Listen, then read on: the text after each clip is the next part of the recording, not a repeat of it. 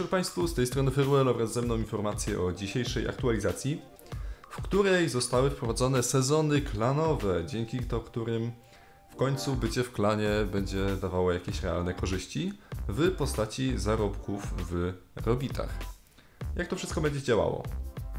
Od teraz za każde uczestnictwo w bitwie będziemy dostawać doświadczenie, które nie tylko będzie się liczyło do awansowania na kolejny poziom, ale również będzie się liczyło jako um, powiedzmy swego rodzaju wartość, tak, właśnie tego doświadczenia zdobytą dla siebie i dla klanu. E, pod koniec każdej bitwy będzie pojawiać się nowy ekran, na którym to mamy wyświetlone zarówno wszystkie, całe nasze doświadczenie zdobyte w danym sezonie, jak i doświadczenie klanu, jak i to zdobyte w tej bitwie. Zarówno z samego wyniku bitwy, jak i z tego, jak spisaliśmy się w naszym plutonie, czy też w naszym partii, jak to się teraz nazywa. E, I tutaj wartość tego bonusu, która maksymalnie wynosi 500, e, może się różnić między e, członkami.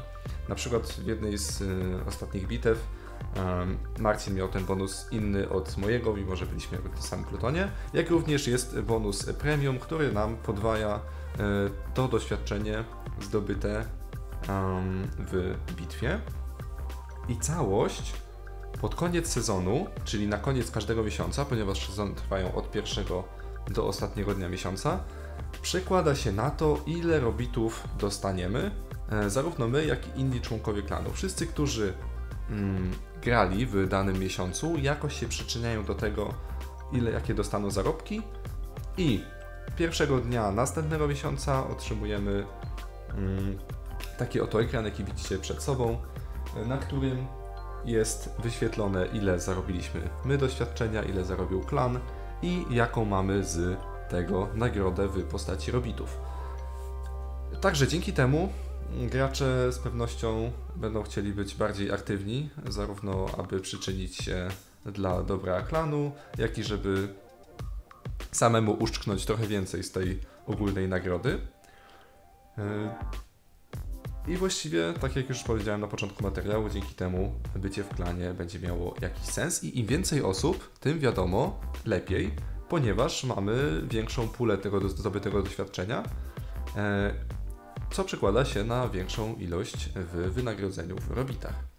W tym miesiącu zaczyna się sezon 0, który będzie trwał również do 31, ale jako że zostało już tylko 1 trzecia miesiąca, dlatego wartości doświadczenia, właściwie jego przełożenia na robity, zostaną potrojone. Także cóż, jeżeli ktoś chce sobie szybko, ładnie zarobić, to teraz na końcówkę miesiąca, jeżeli się załapie, e, to może mniejszym kosztem zarobić większą e, pulę pieniędzy. To, co jeszcze zostało zmienione w tej aktualizacji, to pierwszy krok w kierunku nowego zbalansowania wprowadzonego przez FreeJam, mianowicie na samym początku w Robocraftie pojawiało się dużo czegoś takiego jak gunbedy, czyli e, jak jeszcze można było mieć tylko jeden rodzaj broni na robocie, to wszyscy tam ustawiali e, jak najwięcej działek i to generalnie działało, tak? Bo e, zanim odstrzelili nam wszystkie działka, to my już zdążyliśmy zabić robota, który nas atakował.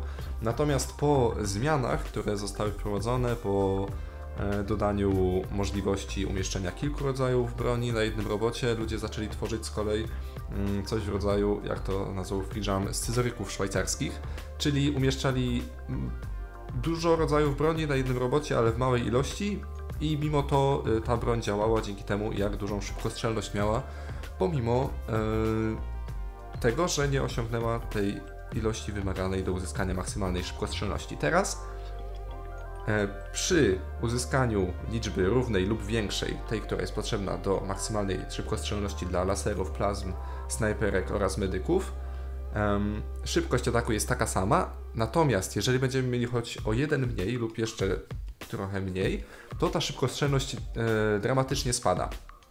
Dużo wolniej teraz na przykład będzie strzelało jedno działko SMG 5 poziomu niż było to e, przedtem, także będzie ono dużo mniej skuteczne. E, przez co też rozbrajanie robotów zyska z powrotem dużo większe znaczenie, bo e, już ostatnio podczas gry często było tak, że jeżeli ktoś nie miał działka jakiegoś takiego wielkiego, takiego shotguna czy tam chainguna, e, to właściwie można mu było nie strzelać po laserach, tylko po pancerzu i skuteczność była prawie taka sama. Mm, Teraz będzie to miało większe znaczenie, ponieważ jeżeli ktoś na przykład ma idealnie mm, 4 działka SMG 5 poziomu, odstrzelimy mu jedno, to jego szybkostrzelność diametralnie spada, tak więc i obrażenia, które nam zada, mm, będą dużo mniejsze. Oprócz tego zostały wprowadzone jeszcze różne minimalne zmiany, które macie opisane jak zwykle w opisie lub w komentarzu e, na dole, przetłumaczone na język polski przeze mnie, także możecie sobie tam zajrzeć. E, Jednakże nie są to na tyle znaczące zmiany, abym je omawiał głosowo. Ja dziękuję Wam bardzo za uwagę. Dzisiaj wieczorem albo jutro rano najprawdopodobniej pojawi się mm, materiał już z bitwy z członkami klanu, e, na której zobaczymy, na którym zobaczymy jak ta aktualizacja działa w praktyce. Dziękuję Wam za uwagę i do zobaczenia.